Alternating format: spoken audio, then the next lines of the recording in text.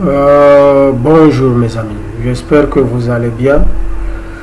Aujourd'hui, on va faire un tuto, un avant-tuto en fait, un avant-tuto qui va expliquer tout ce qu'on doit directement savoir avant de commencer le tuto. Ce qui va vous donner l'avantage euh, de faire de la recherche là-dedans et de comprendre directement euh, et de comprendre très bien euh, ce qu'on va directement faire.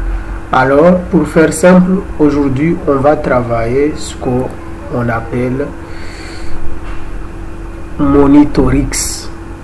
Et Monitorix, c'est quoi? Monitorix, c'est un outil de surveillance système léger, gratuit, open source, conçu pour surveiller autant de services et de ressources au système que possible. Alors, je vais vous faire court. Quand vous avez une entreprise, il vous faut forcément un vigile. Vous voyez hum, les établissements et tout ça, il y en a des vigiles. Ce qui contrôle tout ce qui entre et ce qui sort. Alors, dans le milieu de l'informatique, c'est un milieu où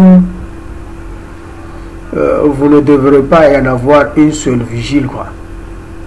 Alors, le Monitorix, euh, là, vous entendez directement monitoring parce que le monitoring, on l'a déjà commencé directement à travailler là-dessous. Alors, aujourd'hui, on va parler dans la partie sécurité, mais de Monitorix. Le Monitorix, c'est un outil très simple que vous allez installer automatiquement dans votre euh, serveur Linux il est gratuit. Là, je le précise, gratuit, gratos, gra, gra, gra, gratos. Voilà, ça c'est la première des choses à savoir. Mais le secondo, c'est que cet outil est énormément léger et il fonctionne parfaitement très bien que les propriétaires ils ont vu encore une autre opportunité pour qu'ils puissent directement, qu'on le puisse l'utiliser, mais dans d'autres systèmes d'exploitation comme les systèmes Android. Alors, vous pouvez gérer tous vos systèmes, les personnes qui entrent, les personnes qui sortent, les personnes qui font directement, euh, qui a l'intention directement d'entrer, qui n'arrive pas à entrer, et tout ça, il va l'afficher dans une interface graphique, mes amis. Et c'est là, c'est le top du top. Ça, c'est le top. Alors, il va utiliser certes, euh, certes le, le, protocole HTTP, mais pas HTTPS. Le HTTP, il est déjà intégré là-dedans. Alors, vous allez directement taper seulement HTTP euh, deux points, euh, double slash et vous mettez automatiquement, lui, il utilise le port 80-80 pour ne pas euh, dire 800, etc. et tout ça. Faire simple 80-80. Alors, et vous mettez directement votre adresse IP de votre serveur et là, et boum, il va directement s'afficher.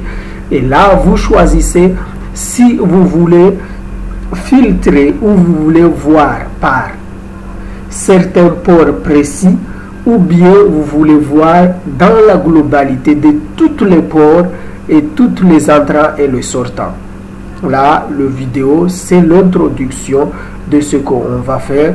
D'ailleurs, je suis là en train de faire les mises à jour. Ce n'est pas encore terminé. Ça, c'est un grand mise à jour. On doit faire d'abord le mise à jour du système avant de se lancer aux travaux selon lesquels nous devrons directement faire face.